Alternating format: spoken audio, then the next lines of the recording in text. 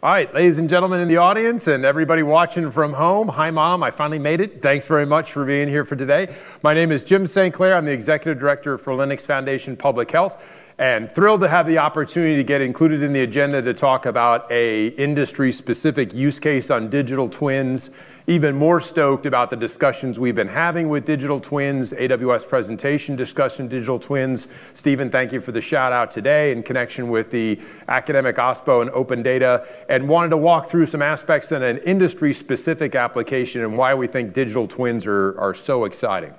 So just to kind of normalize around the definition for a digital twin, it gets used various ways, but for the sake of the discussion today, we'll just, uh, we'll just grab this out of Gartner. As you can see, it's really the implementation of a digital twin as some sort of encapsulated software object or model that mirrors a unique physical object process, organization, et cetera. Uh, and as you can see there is the example built around a power um, uh, wind generation source, you have a physical model, physical existing model of something, a wind tower and wind generator, and then you have all of the various inputs that come from that in data and integration, then combined into a UX to be able to give you a digital representation of what that thing is, or a digital twin as we call it. And we're gonna spend a few minutes talking about the different types of digital twins, even then how that name is used for different things, um, and where we see it going in healthcare, and of course the really cool things that we're doing in the Linux Foundation that I believe are on the cusp of building some great opportunities for new software uh, directions and stuff to go with digital twins. So let's talk about the evolution of kind of where we got here, at least from my perspective. First of all, good old Moore's Law and computational scale, uh, the fact that we get more and more processing out of physically less and less um, physical computational systems like chipsets and CPUs, and of course now we're in the day and age of, of SOCs, systems on a chip, uh, the ability to integrate both a CPU and a GPU simultaneously in a small space, which gives you the ability to put things at a much more dynamic scale for integration and platforms. Second of all, the growth of embedded devices and IoT, uh, which of course has been going through its own sort of uh, machinations and scaling and the ability to deliver more and more computational power and other um, um, embedded capabilities like uh, visual collection, camera sort type systems, uh, electro-optical, audio, et cetera, that get built into IoT. And of course, now we're talking almost nanoscale IoT applications in healthcare, the ability to swallow something that takes measurements or readings from inside your body as a system, um, nanoscale uh, robots for medic, um, um, pharmaceutical delivery or chemotherapy delivery, et cetera. Then, of course, there's also the growth of analytics and the evolution of AI and ML uh, and the ability to do large-scale processing on massive data sets rapidly collected. That's obviously a big focus of what we've talked about here in terms of the applications for AI and data sets for graphical rendering, for uh, um, game scenario rendering, and I think a lot of that maps to digital twins. And then finally, the evolution of the old green screen, uh, flashing prompt UI, UX that we all started off in computers uh, to 3D, AR, VR, MR uh, that Royal has talked about quite a bit. Uh, so all of that to me kind of sets up where we're going with this concept of, of digital twins. There's basically five functional groupings around digital twins. It's kind of a way to look at architecturally and from a business process standpoint where things fall into. So if you have a digital twin in the middle, there are functional groups, as you can see here, data processors, data science, visualization, process mining, data collection, all of the things that kind of relate to that evolution I just referred to on the previous slide that are now kind of functional groupings and components to what help constitutes a digital twin. And a digital twin may be called by name to include uh, one or more of these, or may have all five, depending on the specific applications that we're looking at.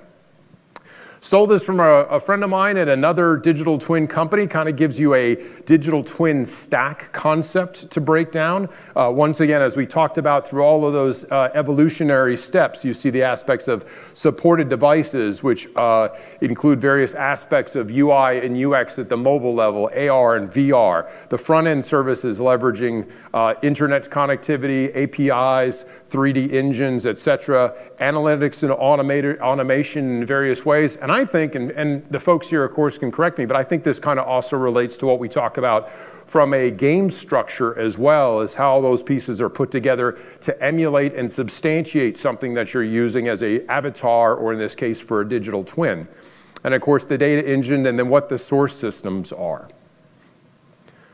So to talk specifically about where some of the things are going in digital twins from a healthcare perspective, first of all, you have like process digital twins. These most, close, most closely relate to other digital twins in other industries where you have large scale processes or functions that are going on that you're emulating or modeling in a digital twin model. Top photo is from a digital twin um, uh, from a small company working with Singapore General Hospital. They have a really cool digital twin of the hospital itself. And in doing so, they're using it for things like we identify in room 218 that someone is now positive for COVID, we want to use a digital model for the flow of patients and traffic around the hospital to understand if there's an exposure threat as that person from 218 or the medical staff from 218 moves from room to room. What do we know about the flow of the hospital uh, that potentially assist us with compromise risk? Or maybe I'm going to layer the HVAC system on top to say, well, if 218 is contaminated, do we know something about the model of the airflow around the, around the hospital to know that 218 could spread contamination into the east wing because of the HVAC flow pattern? So that's a way that processes are used. System digital twins refer specifically to um, human bodily systems, cardiovascular, um, neurology, etc. Uh, Dassault Systems uh, has put in a lot of time and effort around what they call the living heart. It's about a 10-year-old project. And as you can see from that shot there, they've actually come up with a digital emulation of the heart that researchers can use to come in and either evaluate things like surgical techniques, um, other aspects of physical development or physical abnormalities. Um, what happens if I introduce certain chemicals and certain pharmaceuticals in with the heart and the cardiovascular system? So that's an example where a system is being modeled. And then where I think and other folks are, are talking about is the kind of the holy grail, the digital twin of a patient something that represents you as a system of systems view, a amalgamation of all of your systems and body, and what we call genomic, your genetic makeup, uh, biomic, the stuff that you put into your body, and exomic, the factors in the environment. And how do we combine those all together to be able to get a digital twin of Jim where he's living in Houston in a certain area, uh, has a certain lifestyle, and maybe by genetic makeup might be prone to certain conditions and take all that into effect to help map their patient medical journey going forward. So some of the unique things about healthcare specifically for digital twins is that you know other in, all industries model or simulate critical processes and sensitive data.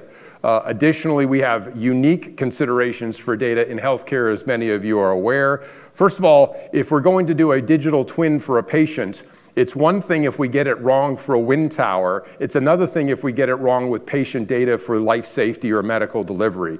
So the criticality associated with not only the computers and the systems and the process and the data are important, but how they're used. And I think where open source plays an important role is transparency in the processes, in the data science, in the aggregation models to be able to say, yes, this is a clinically evidence-based standard that we're using as part of this AI ML process that's going to help drive a digital twin for the liver uh, so that we make sure clinically we get it right and that in information isn't improperly used or a proprietary black box model doesn't result in um, some mistake being made in the clinical standards that results in patient error. And we all know patient error is a very bad thing. Uh, regulatory requirements, and this varies from place to place and state to state, but most importantly, um, uh, HIPAA, which is the Health Information Portability and Accountability Act, has kind of sat as the standard for regulations around personal health information or protected health information, and that has to be taken into account when you're using systems as well. And then lastly, we have a rapidly growing, rightfully, uh, concern about privacy and ethics in things like digital models and AI and ML specific to healthcare and information. Most importantly, I think, is the fact that there's more ethical concerns about biases that are um, unintentionally included as part of, say, training sets for AI and ML, uh, modeling data that is used, and whether or not it is completely inclusive and, uh, um, and represents uh, the diversity of the sort different populations. Um, there are challenges with whether or not certain diseases are looked at that are all encompassing of, of women, people of color, certain geographic areas, et cetera. And all that has to be considered if you're going to take the next step to what a digital twin of a patient is. Well, who is that patient? What's their geographic, socioeconomic background? Do we have the right data sets on those individuals to consider for this? So uh, both uh, Linux Foundation Public Health and LF Networking are involved with the Digital Twin Consortium. That is part of the Object Management Group. Um, and uh, I've also been involved with their Security and Trustworthiness uh, uh, Working Group. And we just recently came up with this publication around a framework for trustworthiness uh, for digital twins and digital twin technology. And as I go through in the next couple of slides, I think it's a perfect opportunity to be involved in some of the other aspects of Linux Foundation activities in Hyperledger, uh, Open Wallet Foundation, and others, where we're looking at things like decentralized identity, zero trust architecture models, et cetera, uh, that are necessary for that privacy and that security. And for anybody who was in the metaverse wallet discussion yesterday, I think Orie Steele did a great job in mentioning the word confidentiality as something above and beyond just the concept of privacy, but how am I maintaining data integrity and confidentiality for that data and that privacy. So as a result, because of uh, where I'm tinkering around in other areas of decentralized identity and verifiable credentials, something else we talked about in the metaverse presentation yesterday, um, I think there's a lot of application for these other Linux Foundation projects, W3C standards, et cetera, to apply within a digital twin model. And as is noted here, digital twins and IoT are rapidly growing in their power and emulation and real world response. That's obviously a big thrust of what we're talking about this week. Uh, as a result, they are assuming identities onto themselves. So imagine if I have a digital twin of a patient, me, um, to what extent am I now defining in terms of regulation or in terms of ethics that that uh, digital twin is as much me from a protected health information standpoint as if I presented my data to you personally, uh, personally as a physical person. And how do we take that into account in the model? Not only that, but I kind of know how I'm vulnerable to somebody scamming my data or getting my data. What is it in a digital twin model that results in new vulnerabilities or concerns about security framework that we have to consider to make sure we take into account the system integrity of that digital twin and doesn't provide a new attack surface or a route for compromise? So this is why we're talking about things like zero trust architecture, and I'll spend a slide or two about this, and the idea of selective disclosure and zero knowledge proofs, something else we talked about with the use of verifiable credentials and decentralized identity. So just for purposes of basic uh, uh, definition, and I've taken this from a NIST security publication on zero trust architecture, identity is information on an entity used by computer systems to represent an external client. Now, in the case of um, these uh, security publications, they make account for not only entity identity, physical identity, i.e. you and me, they also talk about non-person uh, entity identity, i.e. an IoT device, a digital twin device, uh, and, and uh, AI ML type agents and models as well to be considered from a zero trust architecture standpoint. So as you can see, identity represents any of the attributes assigned by the enterprise to authenticate automatic automated tasks. So if you have some agent or you have an IoT device that is part of a digital twin infrastructure and is assigned to report certain pieces of information into that network, into that construct, it has an identity. And most importantly, as we move away from the old security models around identity, it's an ability for that IoT device to, to authenticate and affirm its identity without necessarily sharing too much, and an ability for that IoT device to understand the identity of who it's talking to. So it's a two-way, once again, zero trust. I don't trust you, you don't trust me, so let's broker an architecture of cryptographic trust using something like verifiable credentials to agree that I should be sharing with you this information and you should be receiving it and talking to me. So why is identity important? And I think I probably got ahead about myself a little bit on these slides, but happy to talk through it. Subjects and assets identified as needing assets, asset, access, excuse me, as well as continually authenticating and authorizing identity. And, and, for those that aren't as familiar with the historical constructs of identity and identity and credential and access management, this is a big step. We still in the 21st century have identity and access management constructs where you trust some central source, be it an agency, be it um, a central computing system, whatever, and then devices and networks connected to that have to authenticate to say, yes, I'm allowed to be here.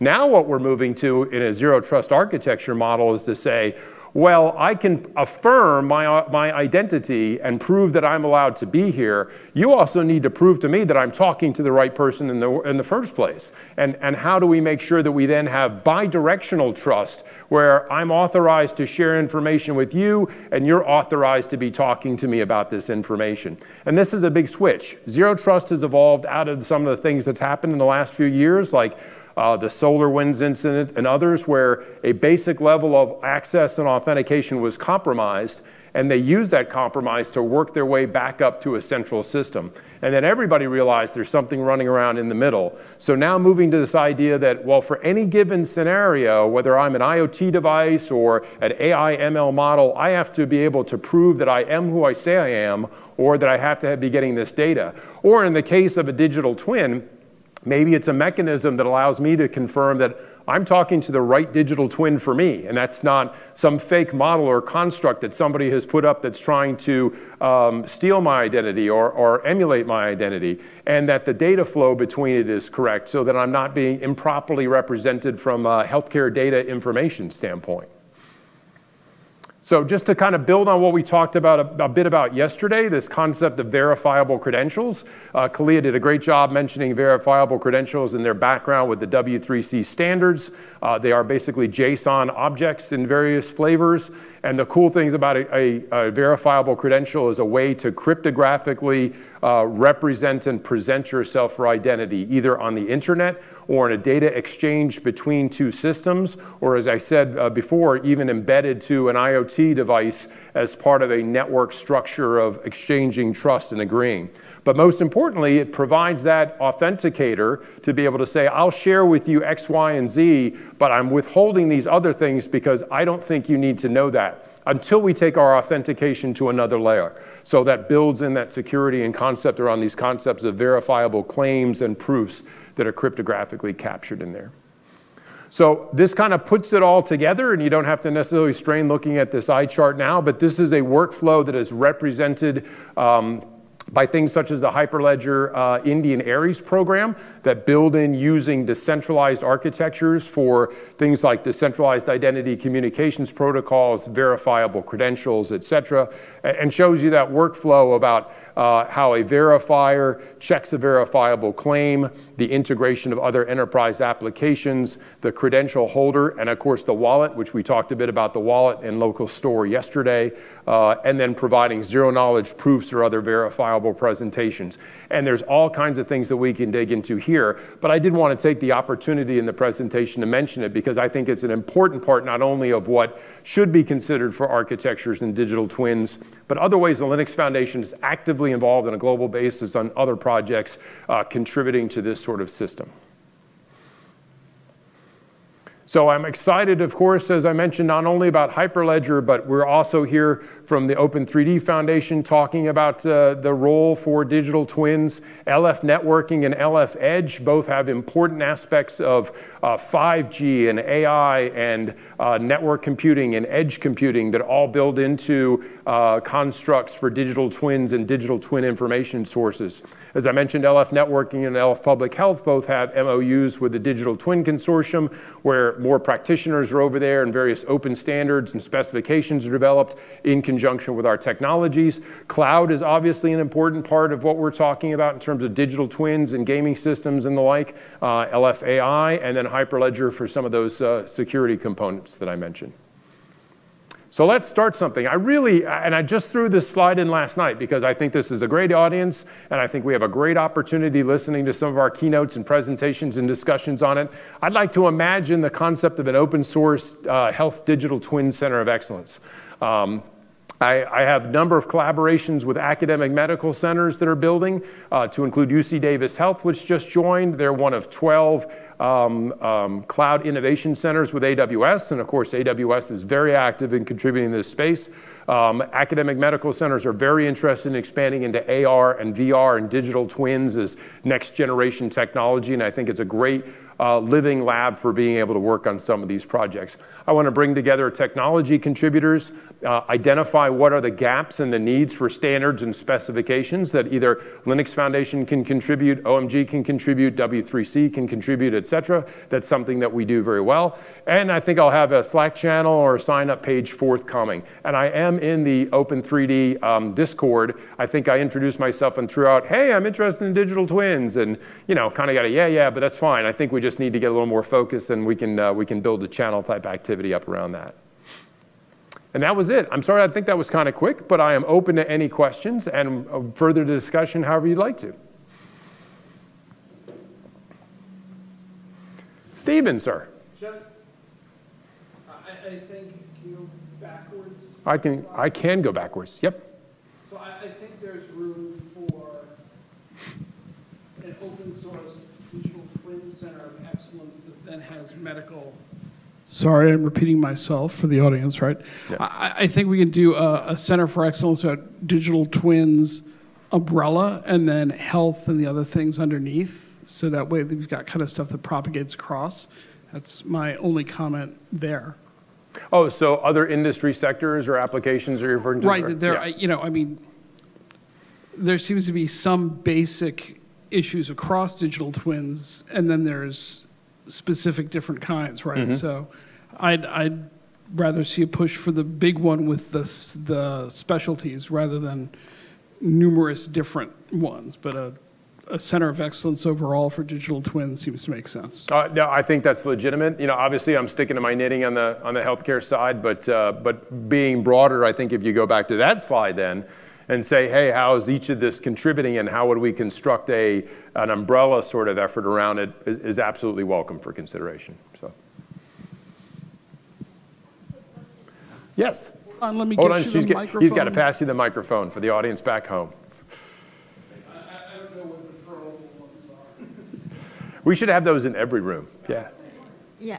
Yeah. Um, well, first of all, thank you so much for leading this effort. Um, and um, this is so important to us. Uh, I remember Dan Kohn was the founder of the, the, public health. Dan was. He did a wonderful job setting this up, and unfortunately, yeah. I didn't get a chance to really know. Yeah, yep. so I really think this is uh, such a good um, project. So um, uh, um, you've been talking a lot about digital twins. Um, I'm curious about robotics.